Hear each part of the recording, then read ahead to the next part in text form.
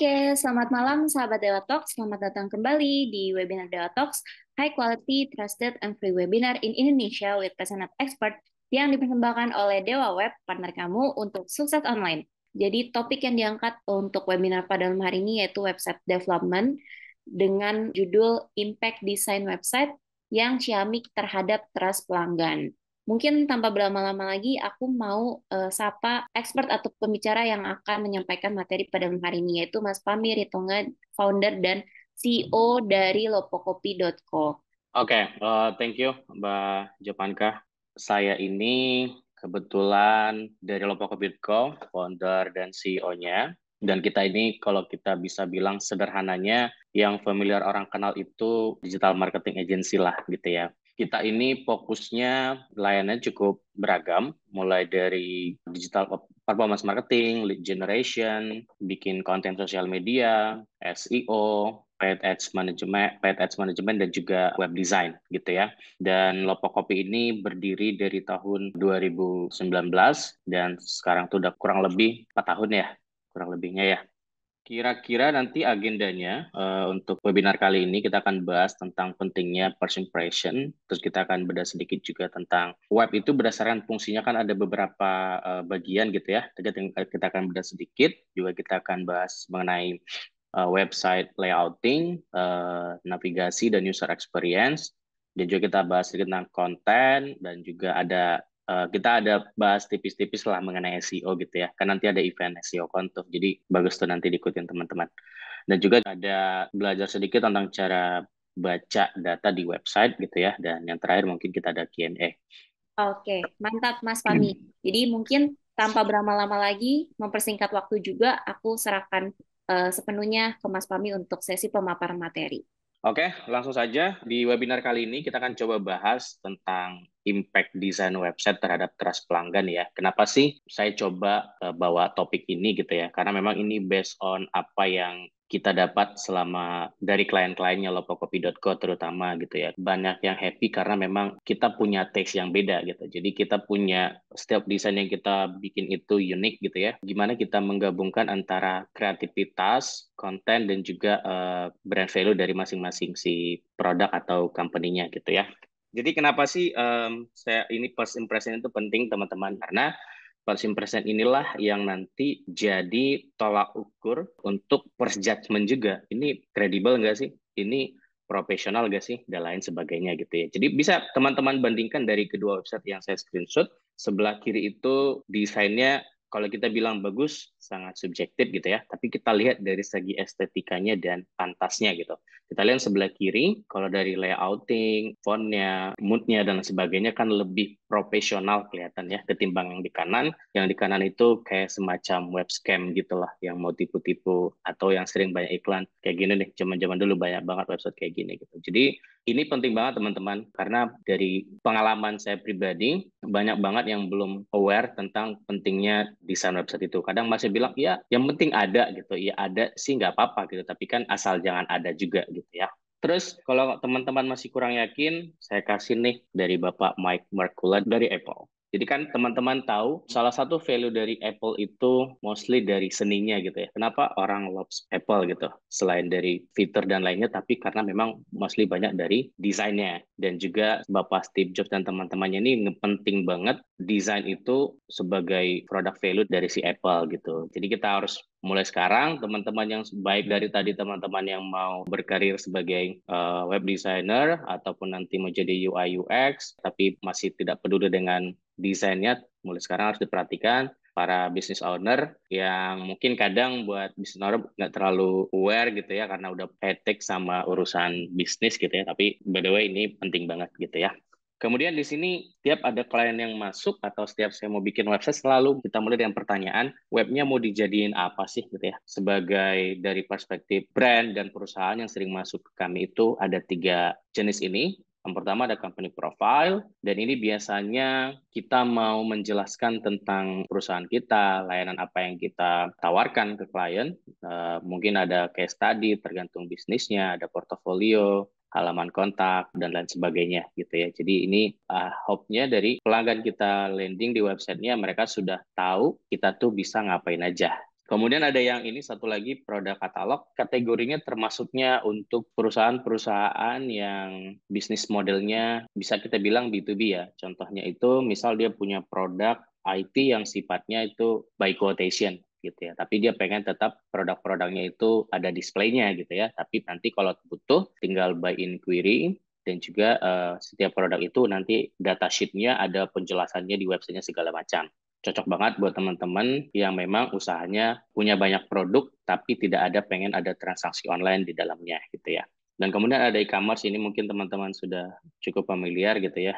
Perbedaannya sama yang produk katalog biasanya ada di fungsi commerce-nya. Salah satu yang paling di highlight di sini adalah fitur-fitur seperti card-nya, keranjang belanjanya, dan juga mungkin form checkout, payment gateway, dan lain sebagainya gitu ya.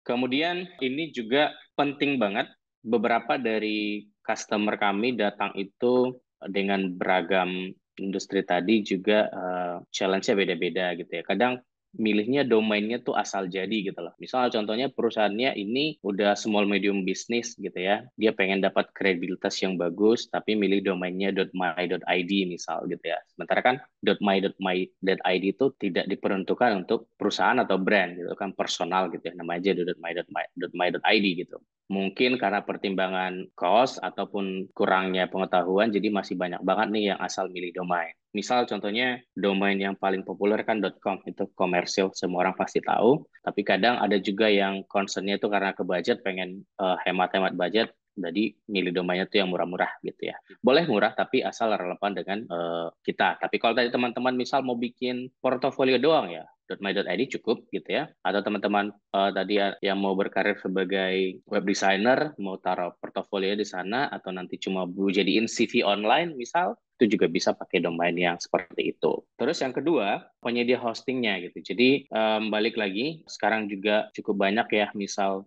jebakan jebakan-jebakan harga, misal di awalnya murah, tapi nanti pas perpanjangannya bingung gitu. Jadi itu perhatikan juga value-nya lebih banyak mana gitu ya. Dan terus yang kedua, tipe hostingnya gitu. Jadi hosting itu banyak tipenya teman-teman. Kita sering paling populer mungkin sering dijual di pasaran itu yang share hosting. Jadi share hosting ini artinya kalau kita analogikan kayak rumah, jadi dalam satu rumah eh, hostingnya ini dibikin kamar-kamar gitu itulah yang disewakan ke teman-teman gitu. Dan itu lebih dari cukup tergantung tujuan dari teman-teman. Tapi yang nggak boleh itu adalah misal kita mau bikin website produk katalog gitu ya ataupun e-commerce tapi kita milih RAM-nya yang kecil, storage-nya yang cuma satu giga, padahal produk kita 500 gitu ya, itu pasti nanti ngaruh banget ke speed-nya, teman-teman. Jadi jangan sampai nanti kalau udah live website-nya baru kita komplain, kita nyalain hosting provider, kok website-nya lemot ya? Padahal sebenarnya kita tidak memperuntukkan hosting itu sesuai dengan porsinya gitu. Kemudian uh, eh, SSL nih, ini juga teman-teman perlu diperhatikan karena ini adalah first protection dari dari kita untuk uh, menghindari serangan-serangan di online kayak malware atau hacker dan lain sebagainya. Terus yang terakhir ini juga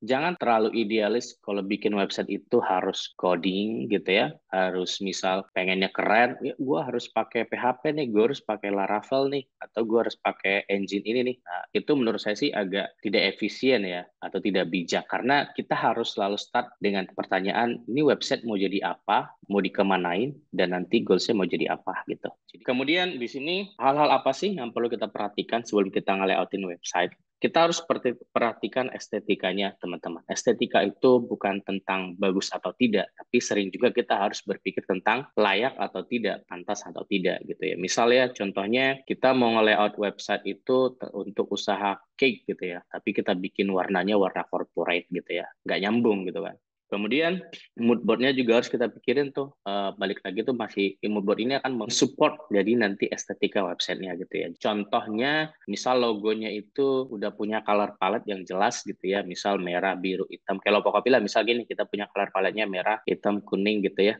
putih, tiba-tiba kita bikin websitenya warna hijau moodnya gitu, dan itu sangat tidak nyambung, tidak merepresentasikan si brand. Terus kita juga milih tipografinya sembarangan gitu. Salah satu hal paling challenging ngedesain website itu milih tipografi. Kenapa? Karena misal banyak juga UMKM nih bikin website, logonya juga mungkin tidak didesain secara profesional, tapi saat kita bikin udah desain websitenya, kita ikutin sesuai misal dengan standar industrinya gitu ya. Tapi kadang bilangnya oh pengen ganti font gitu ya. Kadang font itu sangat memengaruhi tampilan website. Kemudian di sini juga kita belajar sedikit tentang navigasi website navigasi website ini itu sangat penting banget untuk meningkatkan user experience. Kita bahas sedikit tentang perusahaan raksasa ya. Saya suka banget sama Google. Tapi apa sih yang bikin Google itu bisa besar? Apakah karena dia menjual produk yang bisa bikin kita sehat? Apakah dia menjual produk yang bisa bikin kita kaya? Tidak.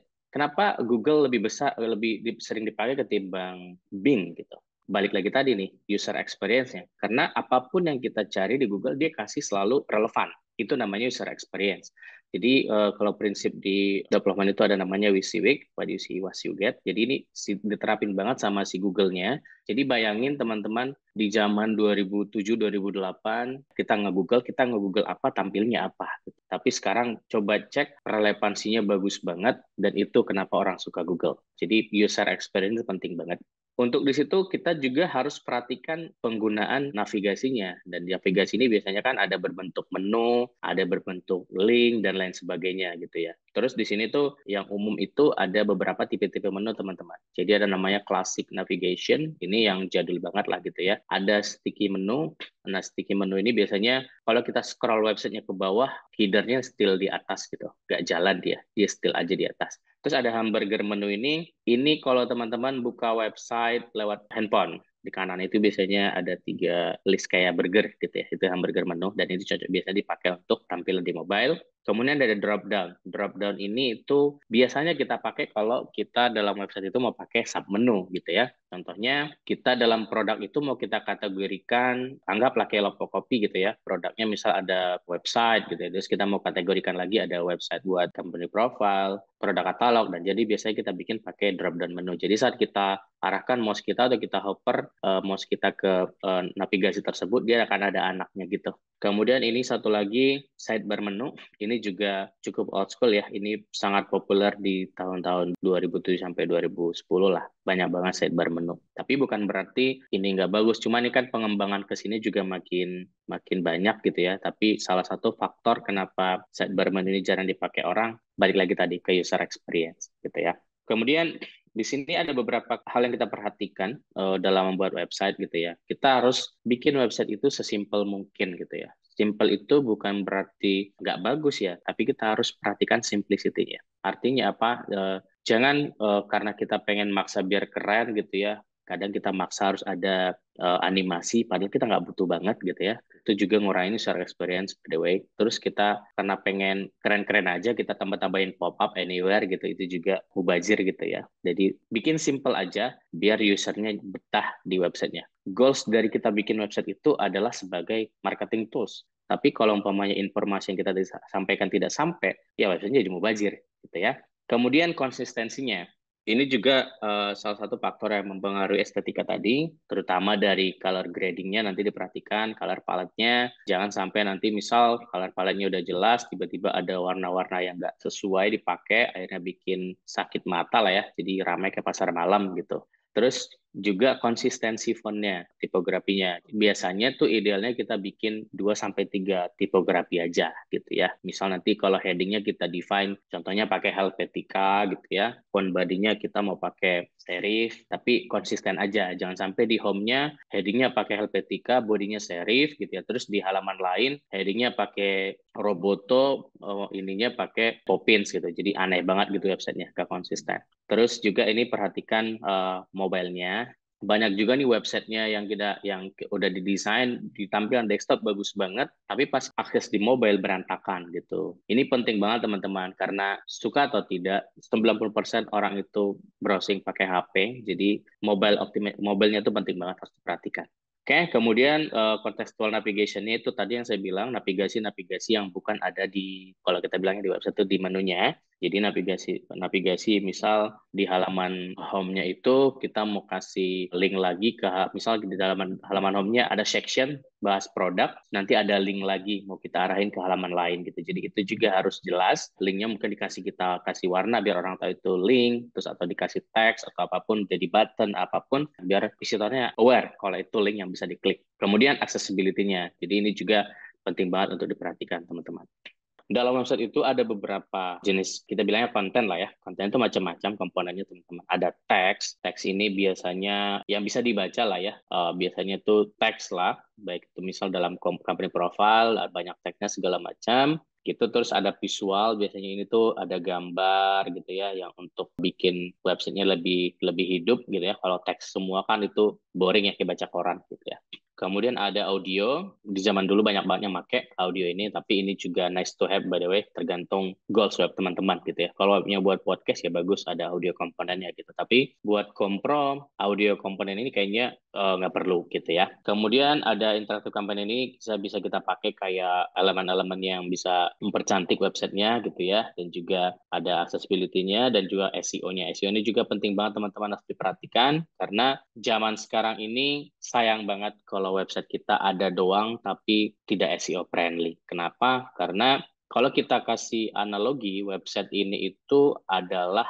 toko kita secara online atau representasi perusahaan kita secara online. SEO ini adalah tools untuk bisa bikin toko kita rame. Salah satunya selain iklan gitu ya. Dan SEO ini juga harus kita perhatikan komponennya karena si Google itu nge-crawl website itu kalau websitenya memang bagus gitu dalam artian dari infrastrukturnya, navigasinya, kontennya, speednya dan lain sebagainya. Jadi makin bagus, makin disukai orang webnya, makin betah lama orang di webnya itu pengaruh juga untuk si robot Google menentukan ini website ini punya value yang bagus atau tidak gitu ya. Terus biasanya kalau berdasarkan fungsi komposisinya seperti ini teman-teman yang sering terjadi uh, request ke kami gitu ya. Biasanya kalau di company profile itu ada about us-nya atau kompronya, ada biasanya ada servicesnya, biasanya layanannya apa aja gitu ya, ada case study. Terus kalau klien yang punya udah aware tentang uh, eh, SEO, kadang mereka minta dibikinin blognya, nama-nama traffic gitu ya. Kemudian ada contact form. Contact form ini juga di zaman dulu itu mostly kalau uh, company profile itu kalau perusahaan-perusahaan pengennya diarahinnya ke email gitu ya. Saat once orang uh, fill the form, terus nanti plus klik submit, datanya masuk ke email gitu ya. Atau kalau diintegrasi CRM, dan masuk CRM gitu ya. Tapi zaman sekarang banyaknya pengennya formnya masuk ke WhatsApp Kemudian ada maps, biasanya sih untuk ngasih tahu alamat kita itu misal kantornya ada di mana, kalau pemanya perusahaannya itu bisa divisit ya, jadi memudahkan orang juga menavigasi ke sana tanpa harus buka Google lagi, cari di di Google gitu ya. Kemudian ada live chat, live chat ini juga banyak ini juga ya opini ya ada yang live chatnya cuma pakai WhatsApp pengennya ada juga beberapa yang pengen pakai fitur live chat yang tersedia gitu ya Nah, kemudian ada produk katalog. Di produk katalog ini biasanya uh, company profile website plus ada produk katalognya. Jadi nanti di situ ada list-list produk apa yang kita jual, bisa kita grouping by kategori gitu ya.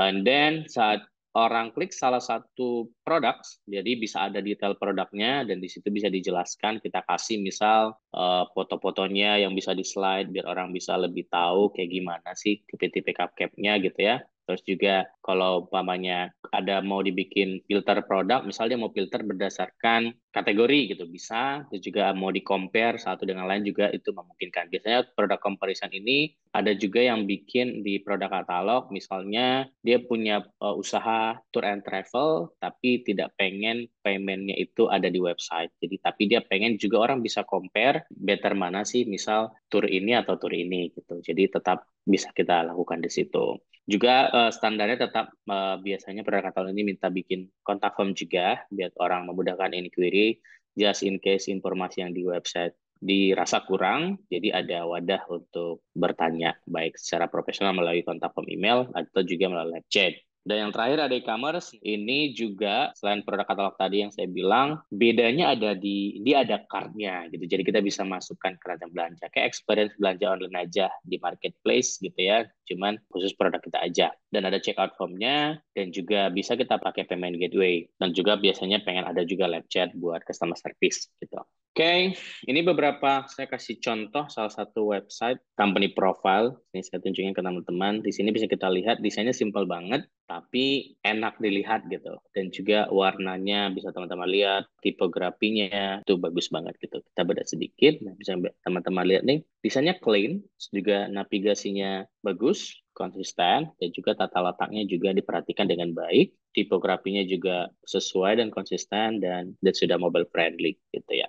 Dan ini saya kasih contoh satu lagi buat e-commerce, produk katalog. Dan di sini bisa kita lihat teman-teman juga sama desainnya clean clean banget, nggak rame gitu ya. Di responsifnya aja secara experience bagus banget. Kita bisa baik kategorinya bisa tetap terbaca tapi nggak ganggu mata gitu ya. Dan bisa lihat nih teman-teman nih dia fokus banget sama user experience saat kita lihat satu produk kita bisa lihat tuh uh, dari tampilan atas, bawah dan lain sebagainya. Jadi memudahkan orang. Umpamanya kita punya produk baju, kita bisa bikin dari berbagai ada beberapa warna bisa kita bikin sini tuh langsung kelihatan perbandingannya gitu.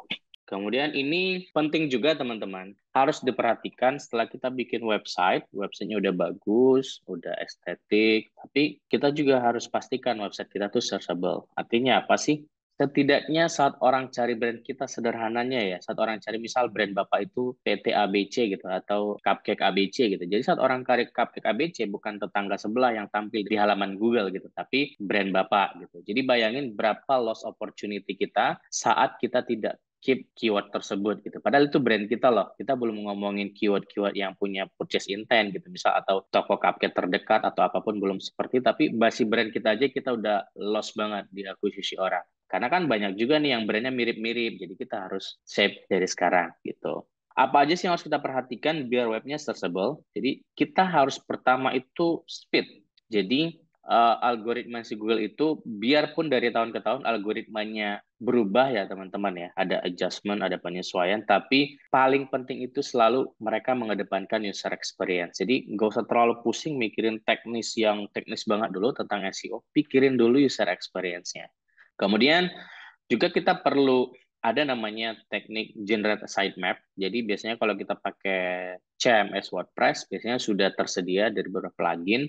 Ini adalah uh, yang nanti dipakai si Google untuk ngebaca data-data di website kita. Jadi kita submit, uh, daftarkan ke Google gitu ya, dan kita bikin juga, kita klaim gitu ya, bukan daftar ya bahasa sederhana. Kita klaim biar kita bisa dapat datanya juga nanti insight-nya berapa sih yang ngunjungin, berapa sih ini segala macam gitu ya dan juga untuk kita bisa nganalisa sudah sebagus apa sih website kita di Google gitu. Karena nanti kalau di Google Search Console teman-teman kita bisa lihat masalah-masalah teknis yang ada di website kita dan juga itu sama kalau teman-teman tidak mengerti ya tinggal cari aja jasa SEO-nya gitu ya. Kemudian yang perlu kita perhatikan juga sekarang itu mungkin di zaman dulu kalau teman-teman familiar Google Analytics di kurang saya lupa bulan berapa tapi di tahun ini tuh yang universal itu sudah end of support teman-teman. Jadi sekarang uh, kalau semuanya sekarang tuh di GA4. Secara tampilan lebih mudah dipahami. Kalau di zaman use yang universal itu banyak banget metrik-metrik yang kayaknya penting nggak penting untuk kita untuk kita gitu ya. Tapi ramai banget gitu. Tapi sekarang UI-nya lebih simple, lebih to the point dan lebih enak lah buat kita sebagai marketer atau business owner untuk menganalisa webnya lebih to the point gitu ya. Terus juga biarpun kita nggak ngiklan gitu ya, saya selalu saranin untuk kita pasang conversion tracking di website kita. Karena biar kita tahu nih konten mana sih yang bikin kita banyak dapat chat gitu ya, artikel mana sih yang bikin kita banyak dapat leads dan lain sebagainya. Jadi harus kita ukur gitu. Karena kalau kita nggak ukur, jadi nanti kita sering berpikir gini nih, terutama business owner, apa sih gunanya gue punya website, gue bayar doang tiap tahun, tapi nggak dapat apa-apa gitu. Tapi kenapa bisnisnya tumbuh gitu kan? Karena memang masih banyak hipotesa jadi nah, ini mah banyak nih karena gue banyak event, ini banyak ini mah karena gue aktif di sosmed. Tapi kalau kita nggak ukur, kita nggak tahu gitu ya. Anyway, dengan Google Analytics ini, teman-teman bisa baca data dari mana pun. Mau teman-teman campaign di, di Meta Ads, di TikTok, Google Ads, kalian bisa ukur berapa yang mengunjungin dari mana, berapa yang dapat leads dari mana paling banyak, itu bisa kita kalian analisa semuanya. Ini penting banget. Jadi saya sangat saranin once websitenya sudah sudah selesai, udah ready to publish, langsung pasang analytics dan juga conversion tracking. Kemudian ini nih, biasanya tampilan sederhana seperti ini teman-teman dari GA4 itu. Bisa teman-teman lihat berapa usernya, berapa yang mengunjungi website itu, terus berapa dari total usernya berapa nih user gitu ya, berapa rasio growth-nya dan juga eventnya. Eventnya itu yang tadi conversion. Conversion di Google Analytics itu atau di GA4 itu udah ganti nama jadi key events gitu ya. Jadi nanti teman-teman jangan kaget yang mungkin masih di Universal, sekarang namanya udah key event teman-teman bisa breakdown di GA4-nya key event apa sih yang kalian install? Misal ada yang uh, kita mengukur yang klik tombol WhatsApp yang uh, yang buka halaman tertentu kita mengukur berapa yang isi contact form dan lain sebagainya. Dan kita bisa lihat trennya dari day to day month to bisa kita compare graph-nya gitu ya. Dan juga kita bisa cek sistemnya apa keywordnya apa sih yang drive conversion tersebut dan juga halaman mana yang paling banyak dari drive conversion tersebut banyak banget. Jadi itu insightful banget apalagi buat teman-teman business owner. Kita start small dengan seperti ini, teman-teman pasti nanti uh, ngerasakan impact-nya gimana tumbuh itu lewat digital. Tapi untuk tumbuh lewat digital kita harus start from data. Kemudian mungkin ini slide terakhir dari saya sebelum kita masuk Q&A. Uh, kalau kita mau bikin website yang bagus, yang menarik gitu ya, kita harus perhatikan gambarnya. Jangan pakai gambar yang low res gitu ya. Selalu pilih yang high res. Tapi high res pun size-nya jangan gede-gede gitu ya. Banyak kok plugin-plugin yang bisa reduce itu atau di reduce online atau kita edit di Photoshop dan bisa kita mengoptimize loading website kita gitu ya. Terus juga bikin navigasinya yang simple, jangan karena cuman pengen keren atau pengen beda gitu ya. Terutama yang pengen beda ini nih, kenapa harus beda gitu ya? Goalnya buat beda apa sih gitu ya? Maksudnya, terlalu perhatikan simply simplification-nya. Juga jangan lupa dioptimasi untuk mobile karena mostly orang cari apa pun lewat mobile gitu ya. Terutama teman-teman UMKM yang jualan produk juga uh, loadingnya diperhatikan karena makin lama loading teman-teman sebagai business owner makin banyak juga opportunity yang loss gitu ya. Terus juga trust signalnya dipasang di websitenya gitu. Itu akan nambah value dari website teman-teman. Seperti itu. Oke, paling itu dari saya. Saya balikin ke Mbak Vanka ya sebagai panelis. Oke, paling itu aja teman-teman. Sekali lagi, terima kasih buat teman-teman semua. Sehat-sehat, sukses-sukses. Sampai bertemu di next webinar dan selamat beristirahat. Bye-bye. Hai sahabat Dewa Web, video ini merupakan tayangan ulang webinar Dewa Talks yang telah diadakan beberapa waktu lalu. Kalau kamu tertarik dengan tayangan ulang webinar ini, yuk jangan sampai ketinggalan untuk ikutan webinar selanjutnya. Nantinya, selain bisa bertanya secara langsung kepada para pembicara, kamu juga bisa mendapatkan e-certificate dan juga door prize dari Dewa Talks.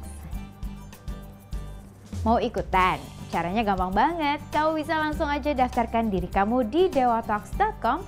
Setelah itu kamu akan terdaftar sebagai peserta webinar Dewa Talks. Eits, tenang aja, webinar ini gratis dan gak dipungut biaya sama sekali. Tunggu apa lagi? Yuk, jangan sampai tinggalan dan aku tunggu kamu di webinar Dewa Talks selanjutnya. Cari hosting yang aman, Dewa